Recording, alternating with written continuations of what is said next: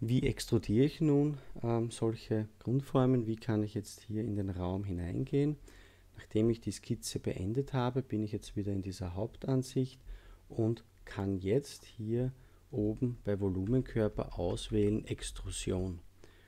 Ich könnte auch den Shortcut E nehmen und ich bin mit Shortcuts dann irgendwann viel schneller wie da mit dem Anklicken, aber zu Beginn natürlich klicke ich jetzt hier nach oben auf diese einzelnen Icons drauf.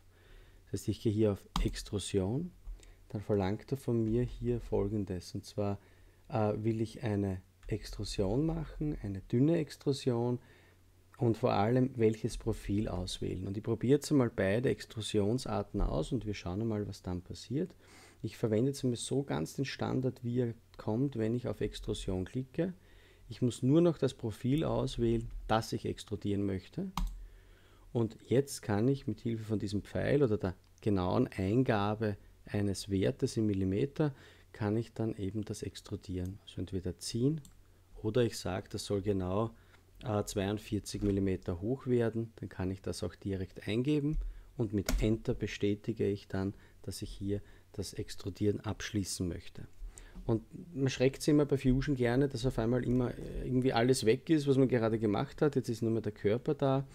Keine Sorge, hier links befindet sich alles, was wir gemacht haben. Und was jetzt passiert ist, ist, die Skizze hat sich jetzt hier auf ähm, nicht sichtbar gestellt. Und sobald ich hier wieder aufs Auge draufklicke, kommen wieder alle Formen, die ich hier in dieser Konstruktion habe, wieder zum Vorschein.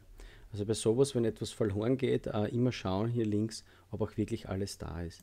Man kann auch bewusst danach Körper ausblenden, das ist ganz wichtig damit man eben Platz hat und sieht, wo man jetzt konstruieren möchte. Es ist ganz gut, den Körper auszublenden, weil er nämlich hier immer auf diese Flächen auch schaut mit der Maus.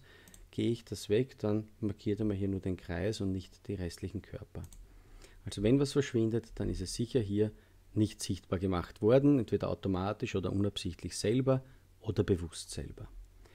Und jetzt machen wir das Ganze nochmal, die Extrusion. Ich, ich nehme jetzt hier dieses 1, 2, 3, 4, 5, 6 Eck her und extrudiere das Ganze. Das heißt, ich gehe auf Extrusion und wähle jetzt aus dünne Extrusion und wähle jetzt wieder ein Profil aus. Jetzt schauen wir mal, was hier passiert. Okay, er kann hier automatisch nur eine bestimmte Breite am Rand extrudieren. Das können wir dann hier ähm, auch einstellen und zwar mit der Wandstärke. Das heißt, er lässt mittlerweile zu, und das ist relativ neu jetzt und das gibt es noch nicht lange, ich kann gleich mit einer vorgegebenen Wandstärke das Ganze extrudieren, indem ich jetzt hier zum Beispiel 3 mm eingebe und hätte jetzt nicht eine komplette Extrusion für einen geschlossenen Körper, sondern hier, hier heißt es dünne Extrusion, also eine Extrusion mit einer Wandstärke. Dann kann ich auf OK gehen und was passiert jetzt? Ähm, ich habe jetzt keinen Boden, weil er nur die, die Wand extrudiert hat und müsste jetzt den Boden unten selber nochmal neu machen. Ich könnte den Boden jetzt extra machen und zwar gehe ich wieder auf Extrusion, wähle nochmal hier unten die Fläche aus und sage jetzt normale Extrusion und ziehe jetzt nach oben. Und was jetzt passiert, ist interessant. Wenn wir in eine vorhandene Extrusion extrudieren, klingt jetzt sehr technisch, aber wenn wir quasi hier nach oben ziehen, erkennt ihr, warte mal, da ist ja schon was, dann glaubt er, dass ich das wegschneiden möchte. Ich möchte es aber nicht wegschneiden, nicht ausschneiden, sondern ich möchte es gerne äh, verbinden. Und wenn ich es verbinde, dann akzeptiert er, dass hier was dazukommt. Das heißt, diese Extrusion, die jetzt hier nach oben geht, kann ich aussuchen, wie hoch das raufgehen soll. Ähm, die wird jetzt verbunden mit dem restlichen Körper, der schon da war.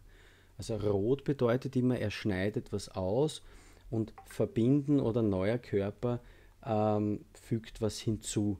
Und hier ist natürlich verbinden so die richtige Wahl, weil ich ja gleich das alles miteinander verbinden möchte. Das heißt, ich mache jetzt hier einen äh, ein 1 cm, also 10 mm dicken Boden rein, bestätige mit OK und habe jetzt hier mit der dünnen Extrusion die Wandstärke bestimmt nach oben gezogen und dann mit einer extra Extrusion von diesem ähm, von der von der Grundfläche unten vom Sechseck habe ich dann nochmal 1 cm extra rauf extrudiert mit einer normalen Extrusion.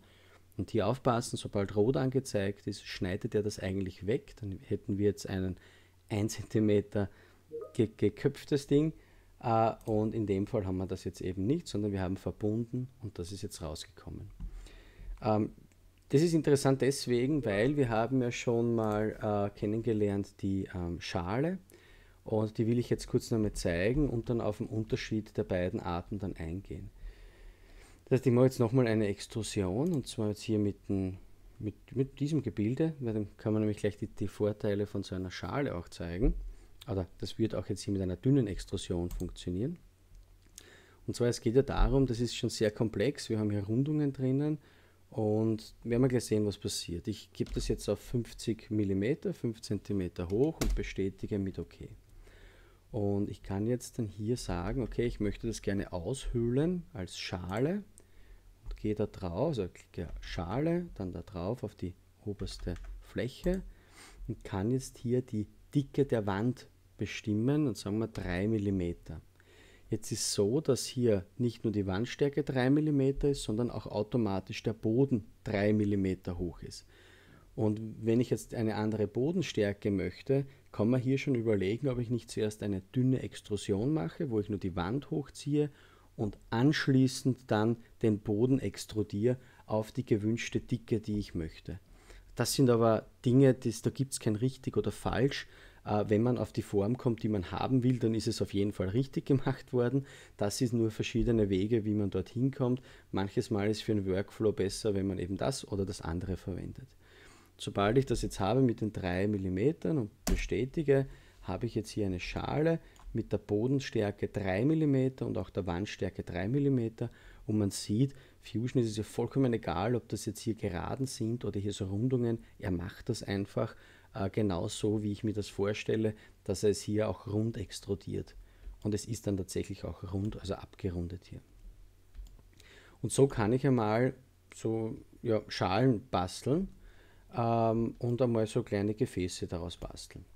Äh, das ist somit die Grundidee vom Extrudieren. Ich kann quasi in die Höhe gehen äh, und eben gerade nach oben extrudieren.